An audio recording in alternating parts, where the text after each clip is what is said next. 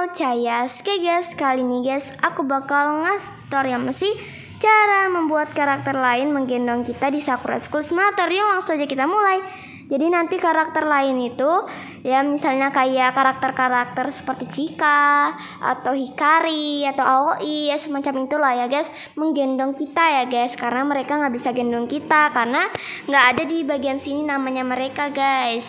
Nah caranya seperti ini ya guys. Pertama kalian cari dulu orang yang mau kalian pakai misalnya aku pakai Chika Mihara deh. Tapi kayaknya belum masuk deh dia ya. Udah nggak apa-apa kita pakai yang ada aja. Kita pakai Norika aja, lalu komit me. Setelah itu kita bawa ke tempat ini ya. Aku mau bawa dulu ke tempat rumah kita sendiri, homegirl ya. Nah, pertama kalian tempatin dia di tempat yang mau kalian misalnya gendong gitu, apa kayak karakternya ditaruh. Lalu white Norika Kano ke cara edit pose mode luat. Motion speednya 0 Eh tunggu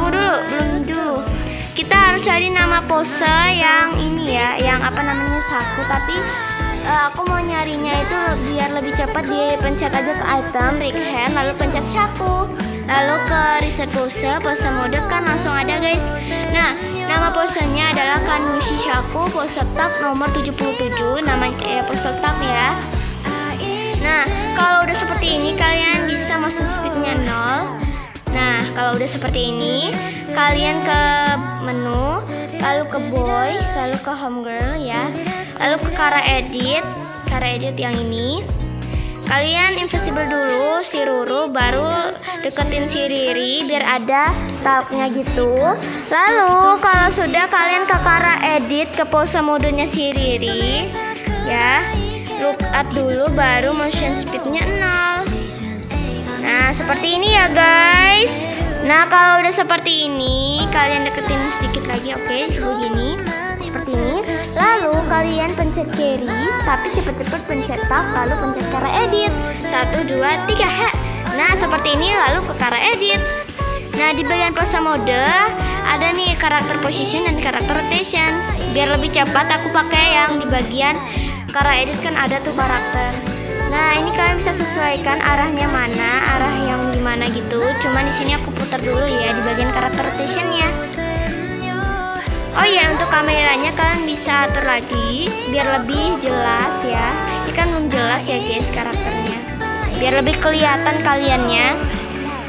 Nah, kayak gini udah jadi kayak gini guys. Cuman kalian bisa atur kembali agar bisa lebih cantik aja gitu guys. Diperbaiki atau dipercantik lagi untuk uh, diatur aja gitu. Nah seperti ini ya guys. Kalian bisa agak kebawain sedikit boleh. Dan untuk karakternya juga nggak harus Norika ya guys. Bisa pakai karakter lainnya kalau aku emang pakai Norika karena dia duluan datang guys. Dan di bagian pose mode kan ada karakter rotation. Kalian bisa ubah-ubah tingkat uh, apa namanya ininya ya guys, kemiringannya. Bisa guys. Udah deh jadi guys. Jadi seperti ini, dadah. Ini nggak bisa digerakin ya guys, Norika kanonya karena kalau digerakin otomatis dia bakal nggak kayak gimana ya nggak kepegang gitu. Nah, kalau misalnya boynya yang gerak, waduh, bahaya sedikit ya guys. Apa kayak nanti dia itu gerak lirinya gitu. Jadi lebih baik nggak usah ya guys. Jadi kayak gini deh. Ya walaupun nggak kelihatan sih mukanya si Riri yang mending kayak gini jadinya. Jadi kelihatan emang benar ada carry-nya gitu. Jadi kayak bisa mengubah karakter kita ke karakter orang lain guys. Padahal nggak bisa ya guys.